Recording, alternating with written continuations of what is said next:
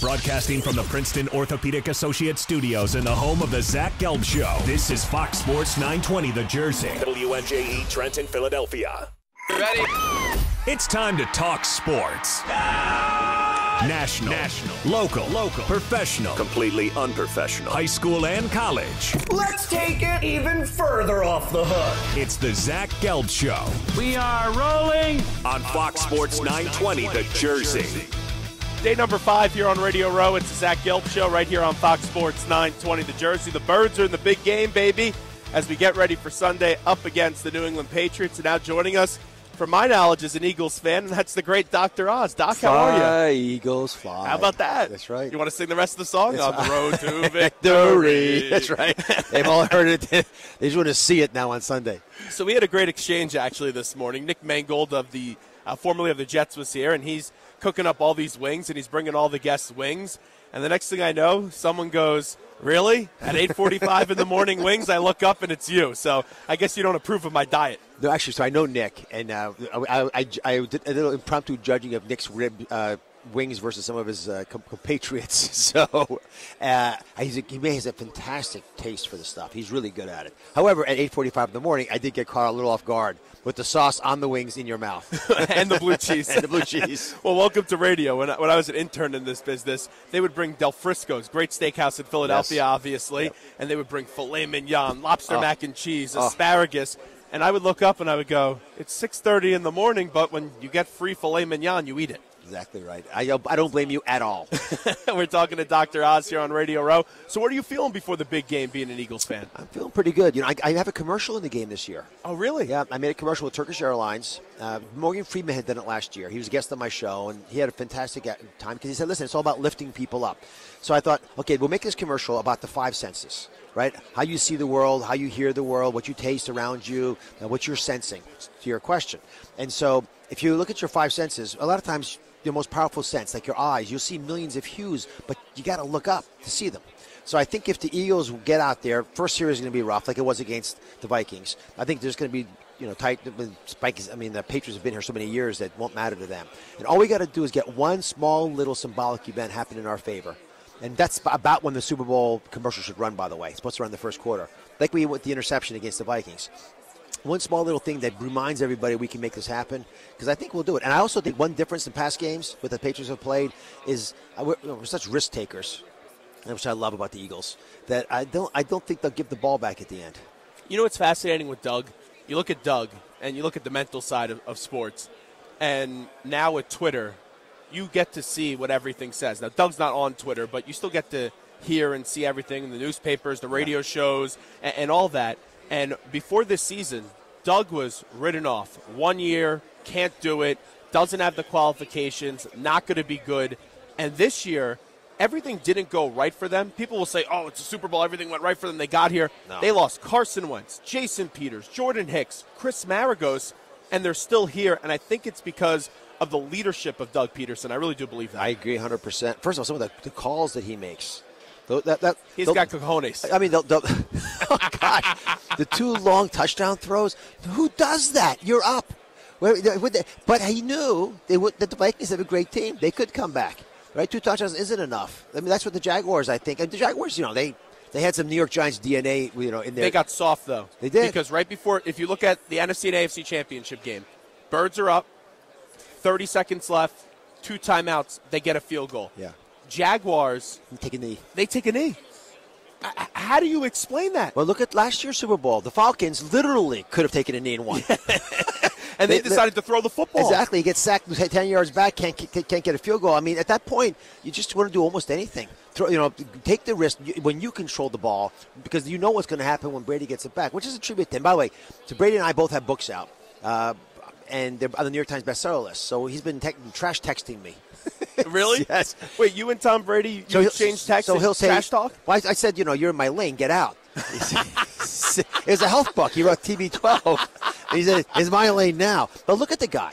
I mean, age 40, his real age, which is the way you assess how old your body thinks you are. look 40. No, he's got the real age of someone in his early 30s. So when he says, "I'm playing five more years," why not?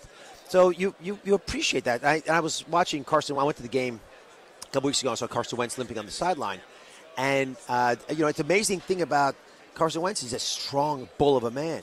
I just want to make sure he stays that way.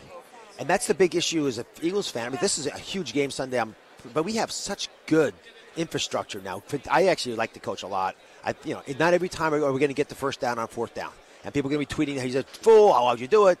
Do it." But at this point, he has done enough right that he earns the benefit of the doubt. That you know he's going to be aggressive. It's something you have to live with, and it got them to the Super Bowl. So who am I to second guess it now? So you know, I, I was never good enough to play in the pros, but I played football in college. Oh, did you really? Yeah, uh, and where at? At Harvard. Oh, okay. I mean, I played. I grew up in Wilmington, Delaware. And you also went to Penn too, right? I went to Penn. Yeah, I went to Penn for medical school and business school, but uh, but I went to undergrad up in Boston. And in fact, I would go to Patriots games. They were terrible back then, but I'd go to the games for sure. I, you know, because I enjoyed it. But uh, I, we, our coach would always say, if we're not good enough to to get half a yard, no matter what down it is, we don't deserve to win a game anyway. I know in the pros it's different because they can stunt, do all kinds of other things. But most pro teams should be able to convert most of their fourth down plays if it's a yard or less. And I think we're going to get to that. I think that most teams went for it once a game on average, right? This year, that was the average in the league. And our studios were actually we broadcast from the Princeton Orthopedic Associates Studios. So Princeton, Harvard, any good memories? Oh, kind. Well, actually, Lew Leone, who, uh, who's the general manager of the Fox station that we're on, Fox Five in New York, uh, we played against each other. He was a slot back. Uh, oh, really? for, for Princeton, and we went ahead. And uh, Bobby Holly, who's one of my best friends, was a quarterback against us, which is unfortunate because he was all Ivy and won two Super Bowl rings. So uh, he played for Miami and the Redskins. So. It's pretty neat, though, the Ivy League, because people look at the Ivy League. It's a bunch of smart athletes. They're going to go on to be doctors, businessmen, but they've actually produced a lot of solid football players. Well, the irony about the Ivy League, Jason Garrett, yes, they're t- like you on and on. There's there are, you know Fitzgerald uh, Fitzpatrick rather from the Jets last year was you know sure. played for Harvard as well. You know you, you don't have to pay to go to school in the Ivies if you don't have money. If you have money, they charge you full freight. It's expensive, but it's cheaper to come to Harvard if you don't have money than going to a state school. So great athletes can get a great education and doesn't cost them anything. So it's allowed the Ivy sports teams to really improve. That's why uh, Harvard and Yale and Princeton and, and you know Columbia have teams that go play the NCAA basketball tournaments. That you know when you win a, when you win even one game in that tournament, you got to have a good team, right? You're top 25 in the country automatically by definition. So you know, the, and football teams have gotten a lot better. Harvard was in the top 20 last year. So you know, I think um, it's it's a higher level of sports than I when I was there. But I, you know, I, the big difference is we don't have depth. In the Ivy Leagues, you don't have 30 really, really top players. You got five really great players. Any one of which could go to the pros. But when you get past them, it's it's mere mortals like me. If you want to be at this level and play at this level for this long, like Tom has done it, you need to take care of your body. That's an obvious and clear statement. The way, though, with Alex Guerrero, his trainer, and the diet and the TB12 method, what do you make of all that? I'm a big fan of it. Actually, he came on last year's a video to talk a little bit about how he values food, but it, it is apparently it, it is more apparent every day as we understand the deeper science of what makes the body age and prevent some of that trauma. That if you use the right tools, you can dramatically change the life expectancy of a player. So Tom Brady doesn't just eat really, really well. He hydrates. It's obvious. He stretches in ways most of us don't. It's not comfortable stretching. Uh, I watched the documentary, and oh, yeah. those are aggressive massages. Yeah, these are you know. Like I go get a massage and you know, fall asleep. Nice, comfy, fall asleep. They're going really at the muscles. Yeah, they, they want to. You have to open up tissues that are being taut and pulled together. So we're and this is also going to impact on how we deal with joints. A lot of our treatment of joints is replace it.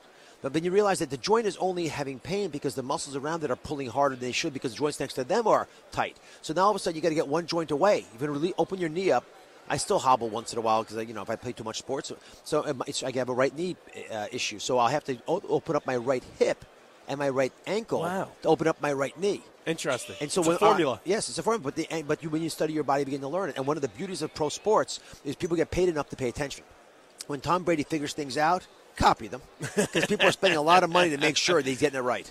Wrapping up with Dr. Oz right now on radio, where I have to ask you a big guy question. Please. You knowing Philadelphia area very well, going to Penn and, and growing up in the area. What's your favorite cheesesteak? I know that may be a little irony to you. I like I like Pat's cheesesteak. Okay. And I took uh, my wife there on our first date after she several times wow. told me she was a vegetarian. and I thought back then a vegetarian is people who ate vegetables. That's great. So you're rooting for the Eagles, obviously, in the Yeah. game, and, and you believe they're going to do it. I really do. And I think it comes down to the first couple minutes of the game, just making sure they get their heads in the right. There's no way the Patriots won't score early. And uh, it's okay because we proved it with Minnesota that that's not a problem. Well, You know- Doc, well, Doc, I'm glad we could get on the same page today, even though we had a little rough start with the wings at 8:45 in the morning.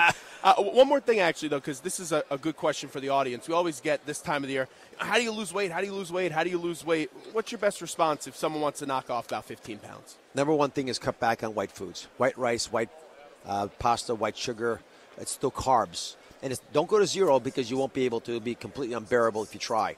But if you just avoid all the places white foods stick into your diet, including soft drinks, uh, and it automatically two days of detox, so you won't feel good. After that, it's seamless, and it works for everybody pretty much. Are you going to the game? Of course, Where I got not forget.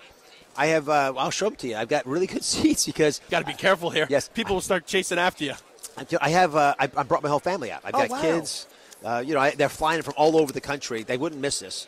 I've got in-laws. I just love how you have them in, in the bag. I, I could- I- I I could- guess that's the safest place to keep them, right? but they're on the 50-yard line. oh my God! They're, they're, that's a really. This is the face value on these are three thousand five hundred dollars. This is a great seat, Yeah. Well, I've got, I've got to come to the game. I've got to go to the game. right? Okay, here's three. I'll take one. That's Uh, no problem. See See you you later. at the game. Bring the, you bring the wings, though. you got it, Dr. Oz. Great to see you. Thank you so much. It's the Zach Gelb Show, Fox Sports 920 The Jersey. Back after this.